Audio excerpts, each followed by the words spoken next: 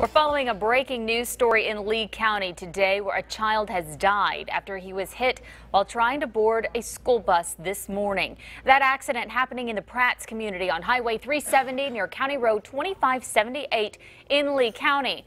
Less than an hour ago, authorities released the name of the driver and the charges he will face. And arrested is this man. He is Hunter Newman of Marietta. He has been charged with one count of aggravated assault. His bond has been set at $10,000.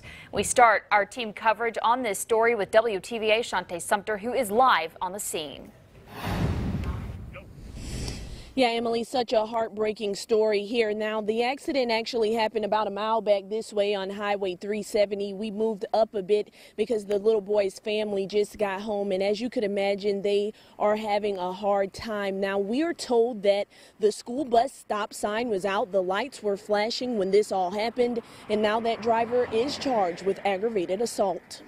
At 6:36 this morning, as 9-year-old Dalen Thomas was getting ready to cross this portion of Highway 370 to board the bus, the unthinkable happened. Had a vehicle that's going the opposite way.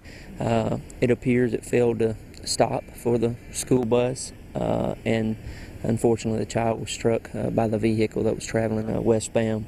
The driver of this white Toyota pickup, 22 year old Hunter Newman of Marietta, stayed on the scene. Dalen was transported to Le Bonheur Children's Hospital with life threatening injuries and later died. Officials say the bus was, as it appears here, with flashing lights and a stop sign out at the time.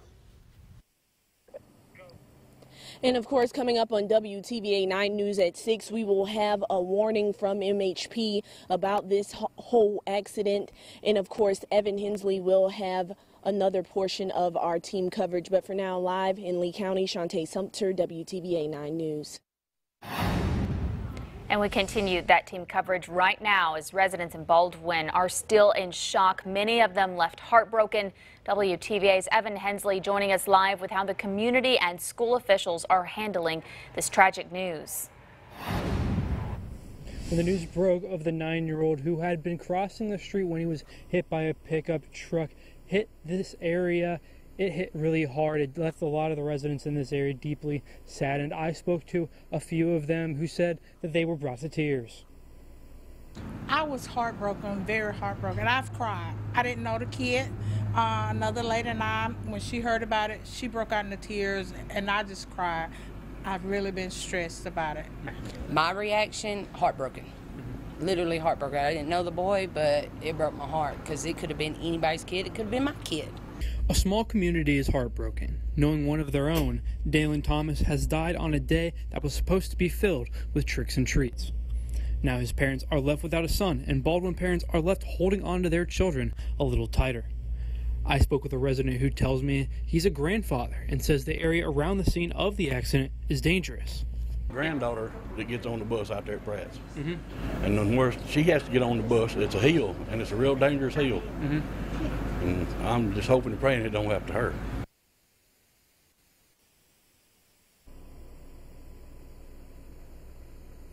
And I did speak with the assistant superintendent, Raymond Craven, a little bit ago, and he did tell me that all the prayers need to be going to this family at this time. He also shared with me that counseling will be provided for both students and teachers at the schools tomorrow.